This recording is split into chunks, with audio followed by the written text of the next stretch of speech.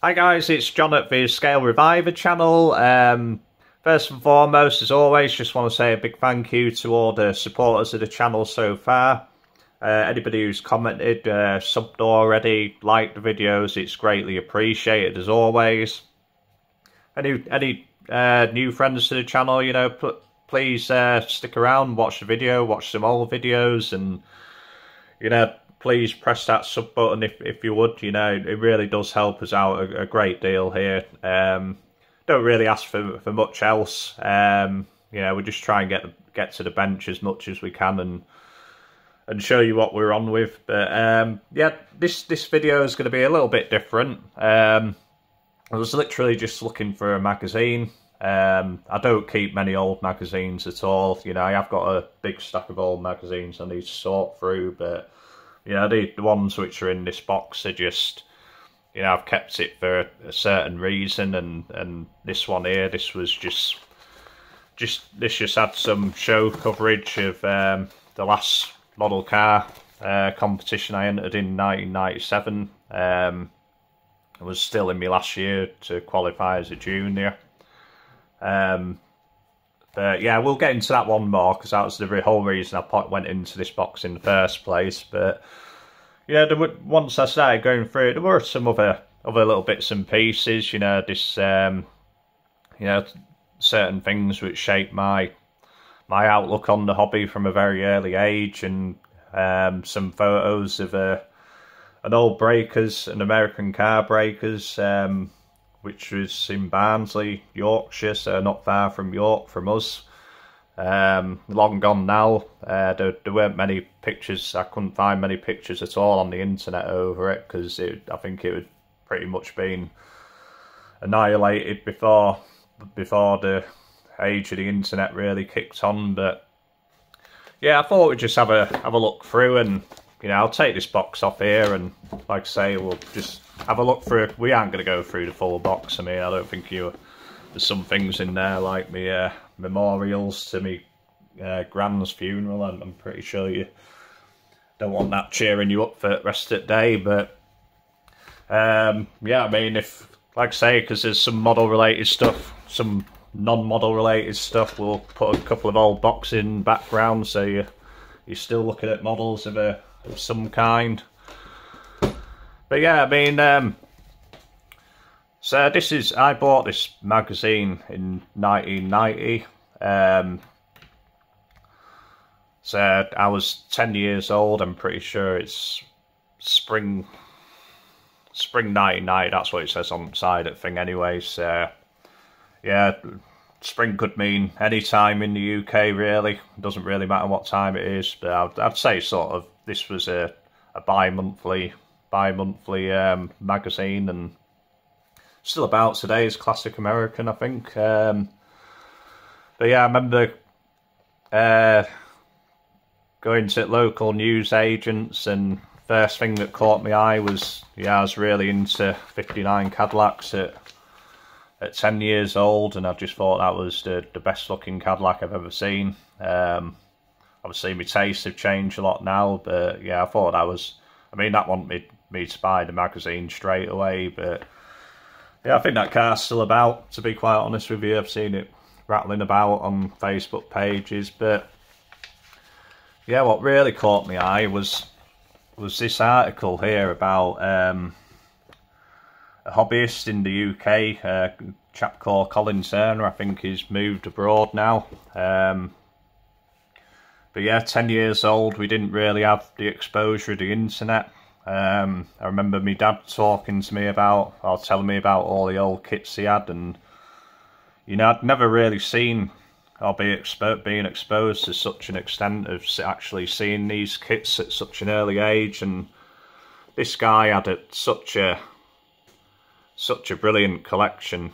I mean, when you think about it, in 1990, you got 67, so these kits were only like 23 years old, but because of the lack of the internet, you know, these you'd buy a kit, you get a kit released in 1985 and a couple of years later is classified as, as rare because, you know, the internet wasn't there and all them, yeah, people didn't have the exposure to, to sell kits and So really, in modern day terms, this is really like us looking at a load of late nighties NASCARs and stuff like that. So, but yeah, I mean, um, I remember looking at this magazine and you know you sort of see all the all this box art which you'd never seen before, all the annual, um, all the annual uh, early 60s kits on top and going into the late later 60s kits and you know the, the big run of MPC kits down here. Uh, more AMT stuff on the side and yeah I remember I remember spending hours with my dad's magnifying glass just looking at all all these seeing seeing if I could hide even the ones which are blurred in the in the back corners just looking round and you know I think I found Car Kits International. Uh, there was really two, I would say, two main dealers of uh, classic, of old vintage kits uh, that I remember anyway. There was the Cabin, the Cabin at Southend and, oh no, Cabin was uh, Essex uh, somewhere and but Car Kits International, Bob Dobinson, you know, he was the the chap who I'd really um, got to know well. Spoke to him for hours on phone as a you know as teenager, you know, he, taught me about all these, like I used to look at these and sort of quiz him saying, you know, have you ever seen one of these kits? And yeah, really great bloke. I mean, I'm I'm hoping he's still about. Obviously, I think the unfortunately, I think the internet probably killed off his business a little bit, or he just went into retirement. Yeah, just found that was the time to to give it all up and what have you. But um, yeah, like I say, hope, hope uh, Bob's doing well at the old car kits. Um, but yeah, I mean, it was um, it was such a inspiration to me, and it almost changed from me wanting to just build model cars and knock them together to to actually collecting and trying to find these old kits. And over the years, I've had many of them, probably sold many of them. You know, I've still got quite a few of these. You know, the these MPC kits were very my era, or the ones which came out and then were, were you couldn't get hold of uh, because you were too young to buy them at the time, and by the time you could afford them, they were they were too expensive, or you just you just couldn't find them anywhere. But yeah, I mean, um, I think the only problem with this article was there wasn't enough pages on it. So you, you were always wondering what was behind these shots and in the other corners and what have you. But yeah, I mean, it got me into collecting. It got me into buying and selling at an early age or trading. I remember trading a lot with the with the cabin. Uh, didn't really get too many good deals um, from there, but you know, he, he, had some nice kits I liked, and you know, we, we did a bit of business even at when I was young. I think I lied about my age to the to the news agents when I was 11. I should have been 13. And I, yeah, obviously not going to name that news agents, but yeah, that was just to get some extra cash in my back pocket. I used to trundle around a big, um, a big uh, sack of newspapers on a on a trolley on a Sunday morning to help pay for some of some kits when which I really wanted. But yeah, it, it goes through some of his stuff. Um, the all his all his Imperial collection. I mean, I've got the '66. I think I've got the '63 hard top. I've got the '64, but in a in the box art where the car's pink on the top on the sides. I don't know if that's the same one or not, but yeah, I had a lot of them. Um, and they just showed this display cabinet again. You just wanted to see more what was in there, but just really nice, clean builds of old old vintage kits and what have you. And I think he was painting parts for Jo-Han seventy two uh, stock car on that one. Um, but yeah, I mean, it was just such a. I came across this, and like I say, it's it, it did really change my outlook on the hobby from you know, it, it's kind of moulded me into who I am today. And, you know, I still do, obviously, buying and selling to help pay the rent and stuff like that and my bills and help me through this uh, period of my life, which we, we're still we're still dealing with at the moment. But um, yeah, I mean, it was, I thought that was quite a nice nice thing to look at. Um, you know, if you ever see one of these magazines on eBay, it's worth a, a, couple of quid just to get it for that article. Really interesting article. I think it was by Richard Coney.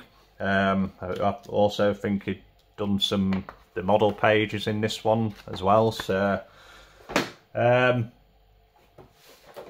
yeah, and another thing, you know, as a as a kid, one of things me, yeah, we didn't really go away much. Um, weren't yeah, we'd we'd go to like the certain seaside resorts, different seaside resorts, we didn't go abroad or anything. But I won't complain. Um, but my dad used to take us uh, a lot of breakers um, as something to do on a Saturday or Sunday afternoon. Um, tried some local breakers yards which had classic cars in because really, you know, that's that's the only time we got to see him. Um, but yeah, I mean, this was a an old um, break, uh, American Breakers in Barnsley, uh, All American Parts, I think they were called. Um, the the chap who owned it, name slips my name right now, but um, yeah, I don't think he had the best reputation for dealing with people. But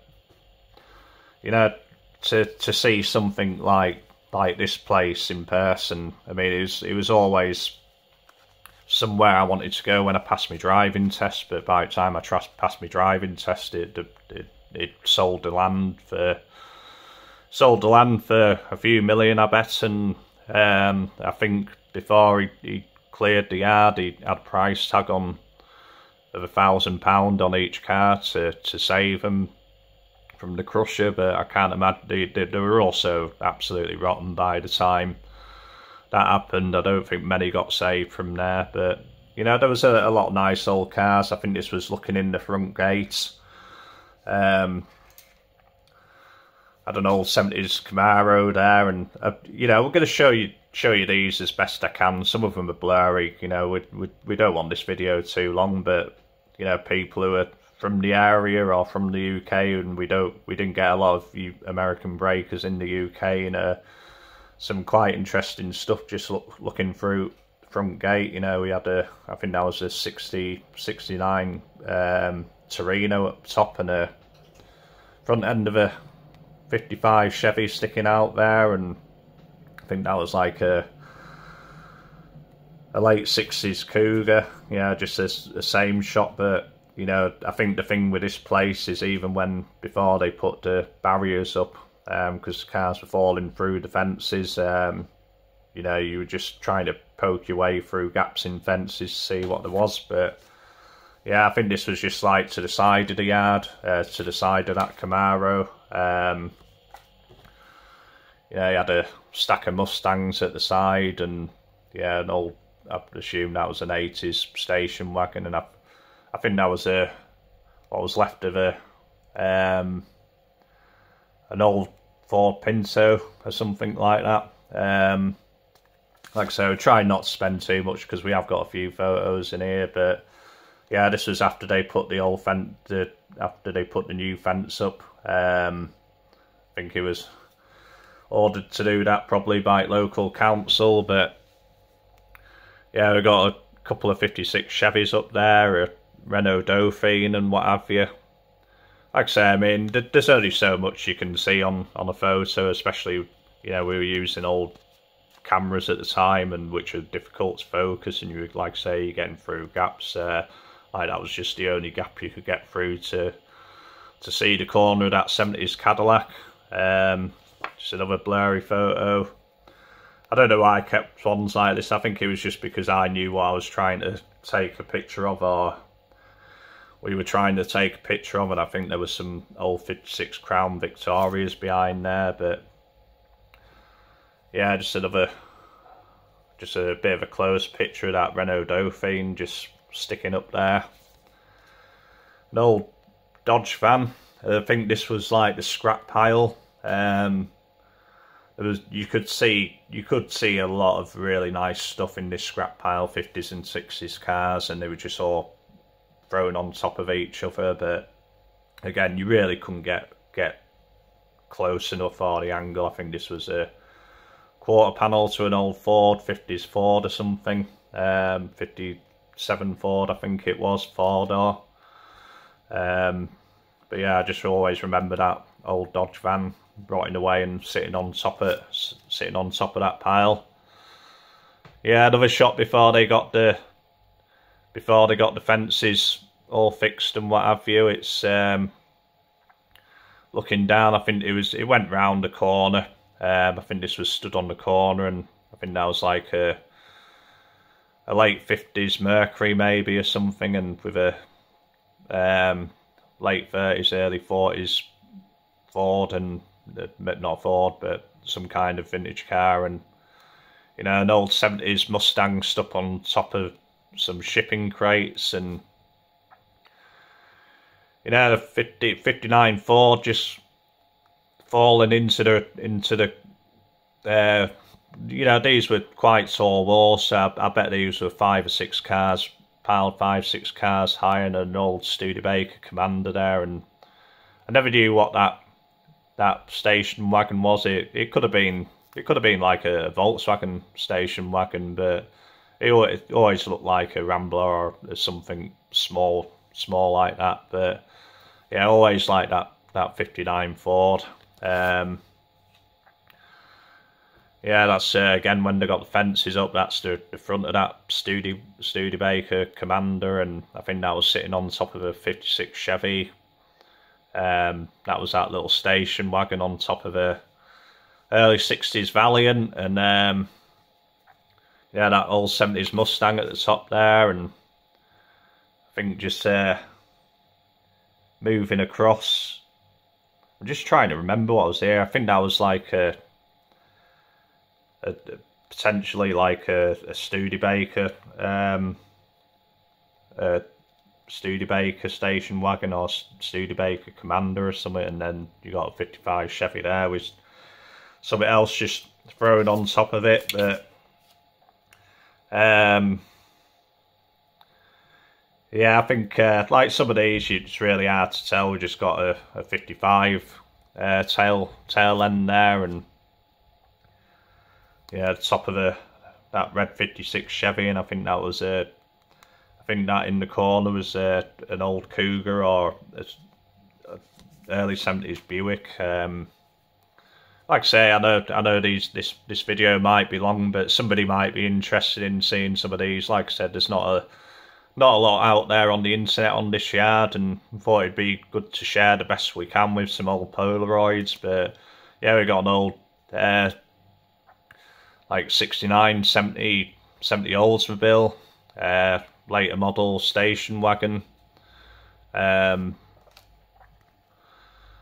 yeah just a different angle of them 256 Chevys there I think this was round on the main side of Smith's Road. Um, yeah, I don't, I don't, that, the, the name of the owner's completely, completely, uh, completely lost me. But I'll put it in thumbnail anyway. I'll, I'll remember it by then. But yeah, just got another, another Cougar. Um, I think there was quite a lot of Mustangs round here. To be quite honest, I remember, and I remember there being a stack of old uh, late sixties, early seventies Mustangs I did see one that got saved in a magazine, and it was literally falling, falling down on itself. You know, the quarter panels were pretty much falling over the inner well wells and stuff like that. But yeah, nice front end of a 55 um, Chevy. I mean, it was it was like I say, really gutted that I didn't actually get to see this in my adult life, but when my dad took us, it was either closed or the, the guy certainly wouldn't let kids on site, which is fully understandable. Like, I mean, I don't think it was that well organised, and I can imagine there being a lot of places you can bail yourself on there. But yeah, that was a. This was a down the side, and um, this was a 57 four door, four door Chevy. Yeah, a bit of a further away, blurry picture of it again, but you know, there was a lot, of, a lot of nice fifties stuff. Um, yeah, this is probably one of my favourite pictures of before they took the took that um, repaired all the fencing and but yeah, you got the um, yeah, I still don't know what that, that station wagon is. It's definitely not a, a Volkswagen. It'll be it'll be something American, but I just can't put a name to it right now. I wouldn't have thought. Um, unless it's an old Corsair. No, I don't know. I have no idea what that thing is, but yeah, that Studebaker was just literally ready to fall down over the over the wall onto the onto the road, the embankment and the, the road below, and um, it's just like crushing itself into a 56 Chevy. You got a 57 or 58 Plymouth there, um, on top of a 58 Chevy. Um, so these were quite quite rare rare cars for the UK, and yeah, I think um, yeah the story was that you know obviously all the servicemen were over, who were over here, you know, bought cars over, didn't didn't bother bringing them back, and a, a lot ended up at yards like this. I don't think there's many yards still about. Um, I did see on the Bearded Explorer in the last 12 months, maybe visited a a very similar yard um, with hundreds of American classic cars. I would absolutely love to to know where that is and have a have a hunt round it myself and take a few pictures. But you know, I think with a, a lot of his videos, he's obviously not exposing where those are because he don't. Yeah, yeah, those cars. You know, don't need stealing or anything like that. So, but yeah, that was a bit of a close up of that 59 Chevy and I think he was sitting on top that that that old one was sitting on top of like a probably like a, a early fifties Chevy Bel Air or something like that, and a bit of a later model station wagon, and you know that was the the corner of that 57, 59 Ford. Just stick it up there. It's you know there was only so many so many pictures you could get. Like you know it was um you know the the embankments were really too tall for, for kids to walk up and what have you, but you know, it's um, yeah, I think that's like uh, an old, old, another old Studebaker there, um, probably like an early American or something, and yeah, the, the 56 and a, a 55 just rotting away up there. Again, I think that was that. I was trying to still trying to get a picture of um,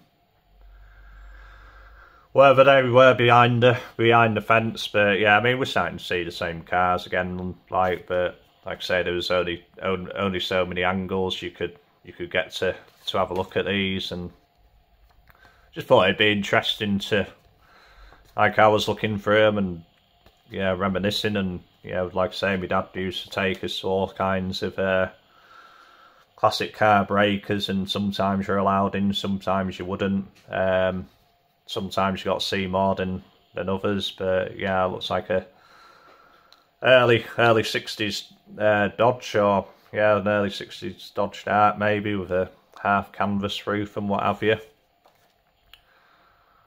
Just more pictures of that, and like I say, that was a another one, another early picture where they were just all falling through, and yeah, that's potentially like a, a seventies Buick or don't know, could be an early a mid seventies Torino or something. But yeah, I mean, we, we like I said, I think these are a bit more blurry from the from the from the main gate. You know, you could see that Cougar just literally dropping its ass end over some other that looks potentially like an old 70, a, a 70 Impala, 69 Impala or something. But yeah, there was a a few nice cars in there obviously got lost. I think these are just other places we went. I remember this was Kazam Cars in Castleford, uh, American car sales. I think we nearly bought a Cadillac Bustle back from from there, um, and a and a Ford Fairmont.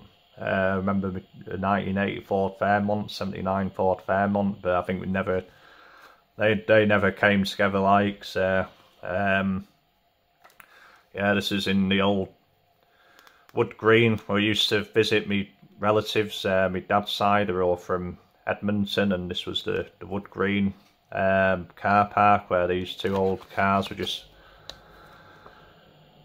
just dumped in there for years. Obviously, probably been towed a long time ago, but an old an old Opel Rekord, I think is, or something like an Opel Olympia Rekord, and that was my mum's car. I, don't, I didn't even know these ones were in back of here, but we're here, we're looking through it, might as well have a look through them, and I think that was my eldest brother in his little car, but yeah, I think that was my mum's old Austin, or Morris, whatever you call him. Austin 3 litre, probably been raced on the track by now. Yeah, I remember this thing, this was just around me um, around me nan's and my aunt's streets, uh, another another car dumped in that Wood Green shopping centre car park. Yeah, this is how old it was, you know, that was probably a relatively new car, that, that Mark um, 1 Fiesta there, or is it Mark, no, yeah, Mark 1 or Mark 2, yeah, Mark 1 Fiesta. Another couple of shots of that limousine, thought that was the greatest thing ever when I was a kid, and uh, we just used to walk around my nan's house, around my nan's area, and you'd just see these old cars still scattered about. This would have been in the mid 80s, early to mid 80s, I would have thought. So, yeah, it wasn't uncommon just to to find a yeah a couple of streets at a time. You'd maybe find something in a in a driveway, and yeah, this was a, a Volvo I saw. I potentially think this was in York. To be fair, you know, that was um, yeah, I think uh, that was a Volvo, some Amazon, somebody started customising and what have you. Be interested to see what where that car is today and um, yeah, an old Mark II Zephyr my dad had bought to restore and I think all he, as far as he got with it was a uh, drawing a, a picture of it with massive wheels on just to and he stuck it in this window just to annoy the neighbour because I don't think we got one with neighbours too well. Um, back then. But yeah, I think it didn't really get much further than that. And yeah, I think uh, and I was uh, just in background. That was the F-Type Victor we had. I, am pretty sure, unfortunately, that one ended up getting raced after my dad sold it. Um, not too sure. Um, but yeah, an old FB FB Victor. I think that was on in London again. That was the Mark II Zephyr with uh, me as a very young child sat in the sat in the driver's seat. Never, I can't remember who's that that uh, Cortina pickup belonged to. But yeah, we still live on live on this street now. Like, or my, my mum and dad still lives on that street now, um, so to speak. And yeah, that was me dad's my dad's old Victor, like, and it was a really solid car. It just never got restored the way he wanted it, and that was our old um, Talbot Amazon. Um, my dad's F, yeah, my dad's um,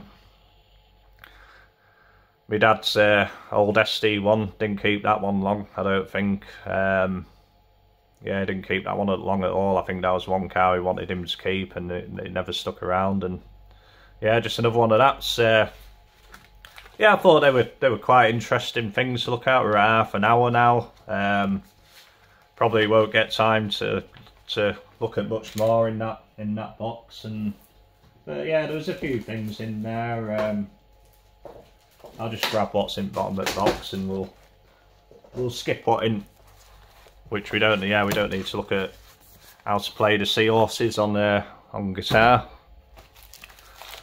Um, don't really need to yeah, I was, um, yeah, people who know me know I've got a massive love of um, the 38 7 series, uh, probably had 14, 15 really rare ones in me in my time, and uh, yeah, that was uh, another period of my life. I'm, I'm just, I've just bought a, when I left my job, obviously didn't have a company car anymore, and so I was looking for something. I'd sold all my 38s. Um, I'd, I'd, restored one.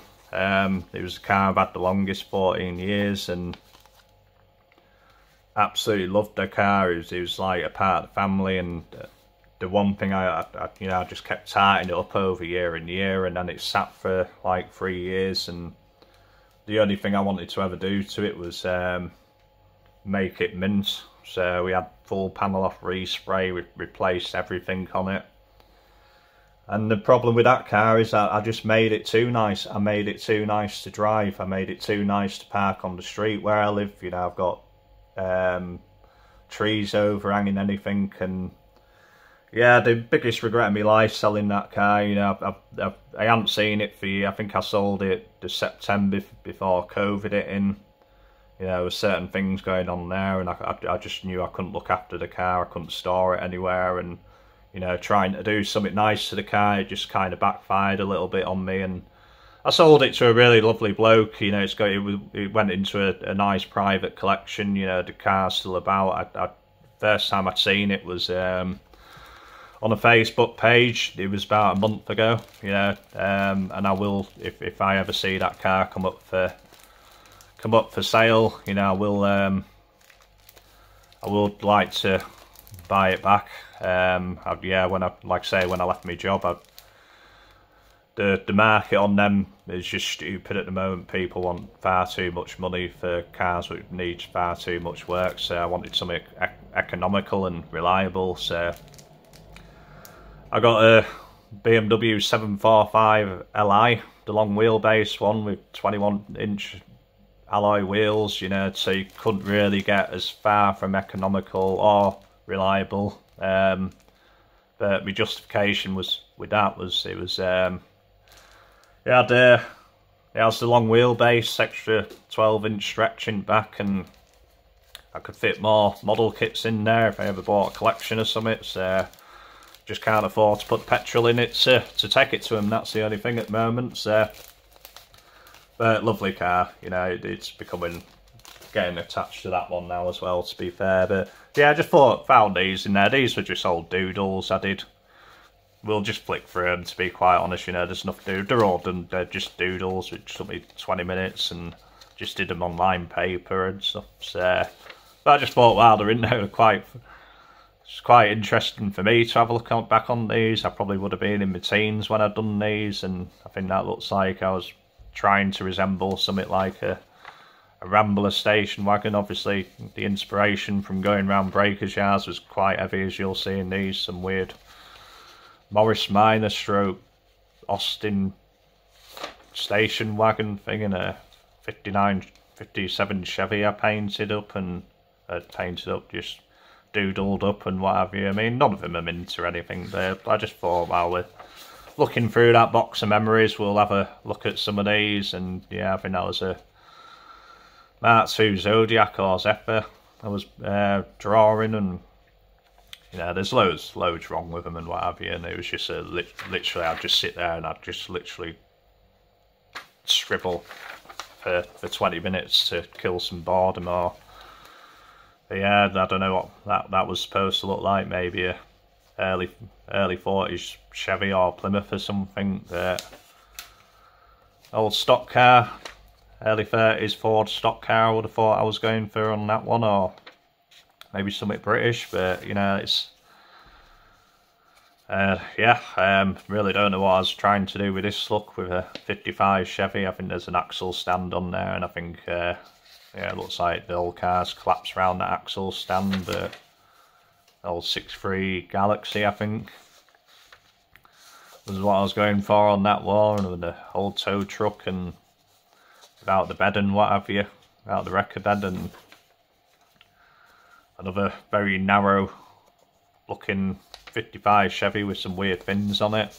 Um, a very quirky looking Ford Mustang maybe I was going for on that one. Looks a bit like the proportions of the body on that monogram 69 Camaro a little bit.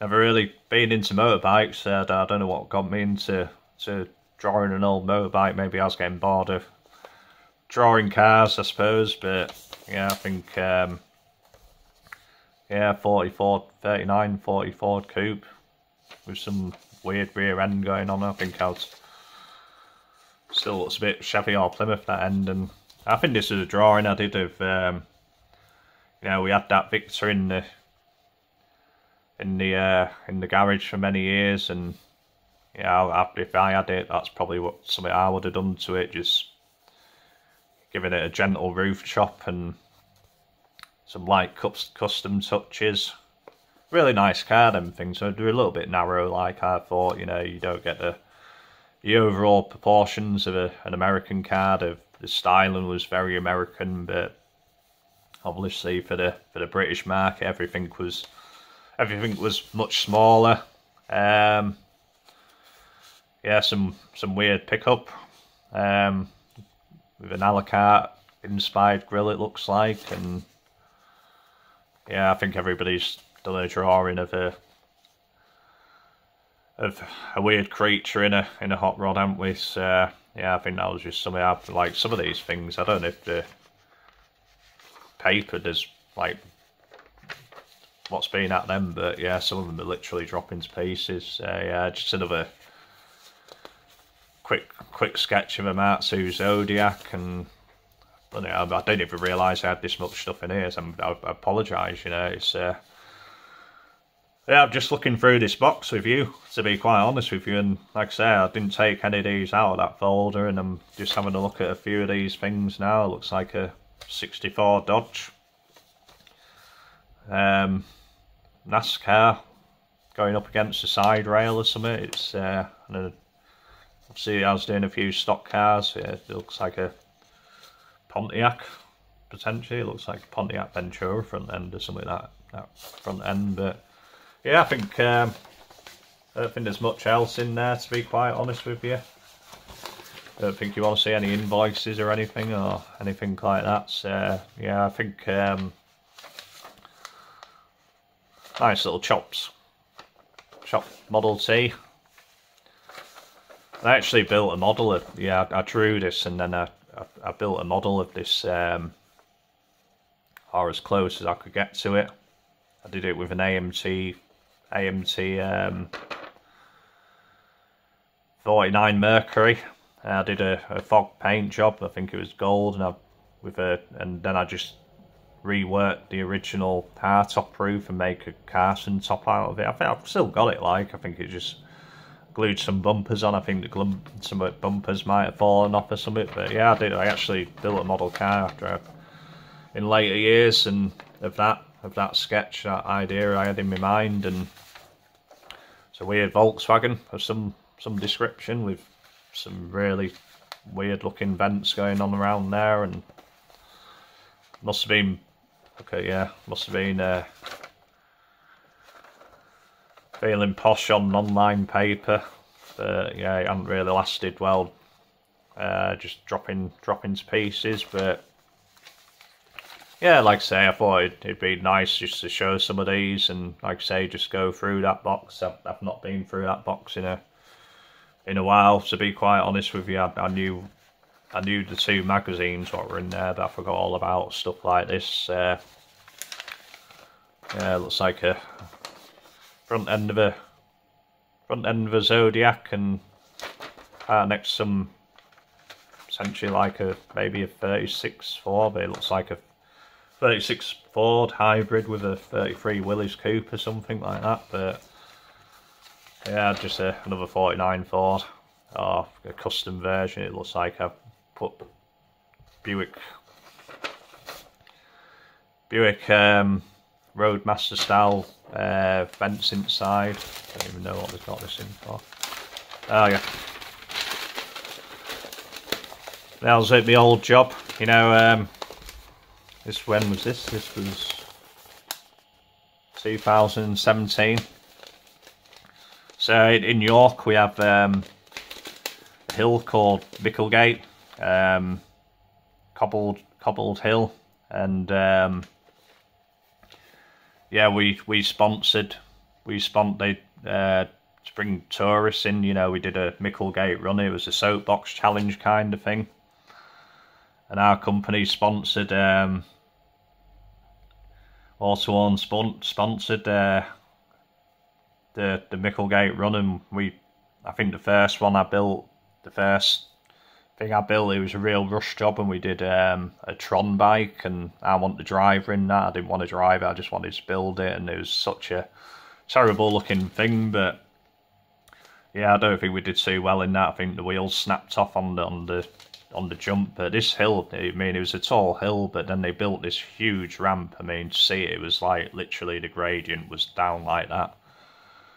And this is the, the first year I built this um, this Green Hornet replica and well, replica is uh, made out of wood and had a big steel frame inside it. It was, it was all, it's, I think they've still got it. I mean, I, I, did say if you ever get rid of it, let me know because, you know, I put a lot of time and effort into that.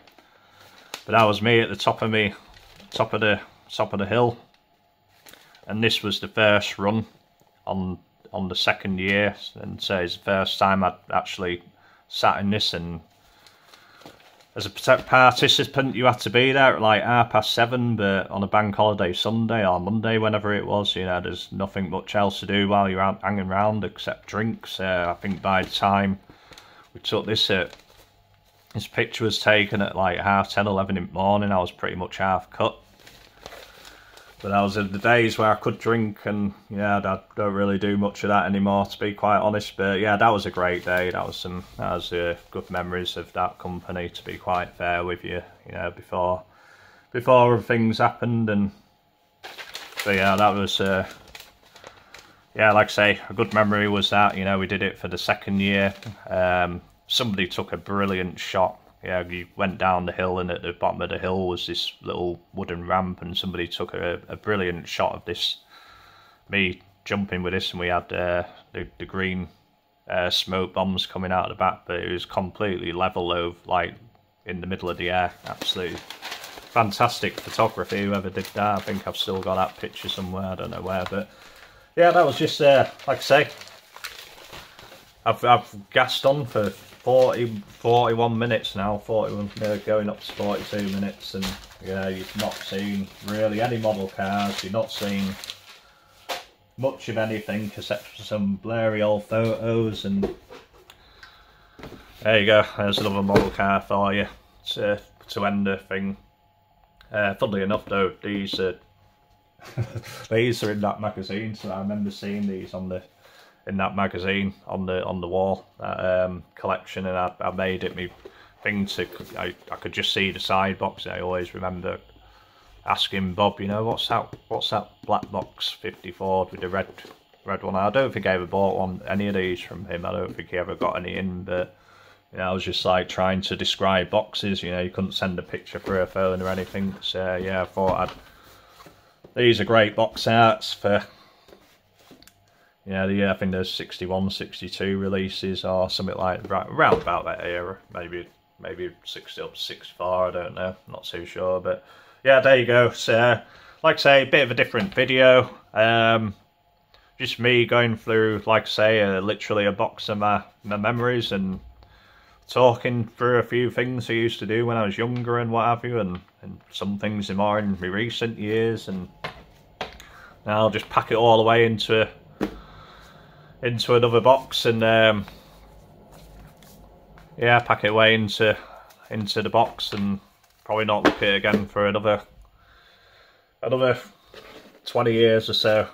Um, but I will do another video on that, uh, on the cars which I put into that competition, the one which actually won. There's only, the, the body is long gone unfortunately, I tried to paint the body on it and yeah, that was when I was working in a paint shop and one thing I wasn't happy with the colouring. The second thing, the, the spray booth was on too high and with them spin it was a 55, Rebel 55 Chevy and the, the little lines, the, the rocker panels under the open doors just couldn't take the heat and it buckled up like a pretzel.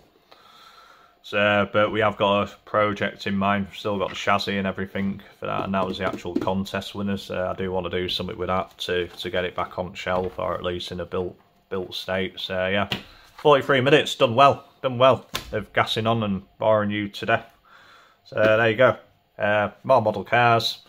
Um, but yeah, I mean, thanks for watching. If you if you if you've stuck around for this, you know, like I say, it's a bit it's a bit off the model car sort of thing we usually do, but you know, somebody might find it interesting, and you know, even if them bring back a few memories for, for people who remember that yard. It was, um, God, I, I, just don't know why I can't can't think of his name off the top of my head. You know, I've, known it for, for years, and then when you start talking about it, it completely erases itself from your memory. So I'll put it in the description anyway. There you go. But thanks again for watching. Uh, please like and share and subscribe. Uh, have a look. Have a keep your eye out for any new videos coming coming out. We've got more unboxings. We still got to finish that 70 convert Plymouth four door conversion. Not too sure if I'm gonna make that deadline. To be fair, I think I put myself under too much pressure with this one to to get that one finished for you know last days. So it, it took the fun out of the build. Uh, depending where I are, I'm on the Plymouth, as you can see, it's not any further on than the last time we filmed it. Yeah, I'll do my best to meet that deadline, but, you know, if, if it don't make it, it don't make it, and, you know, I just want to make a nice kit out of it for you guys to, to, to see when it's all done. So, yeah, we've got two weeks of that, and I ain't going to be doing any model building today. It's the day after I finish this, um, this Cortina, and, yeah, so there. So again, I'll shut my face. Uh, thanks and see you in the next video. See you, bye.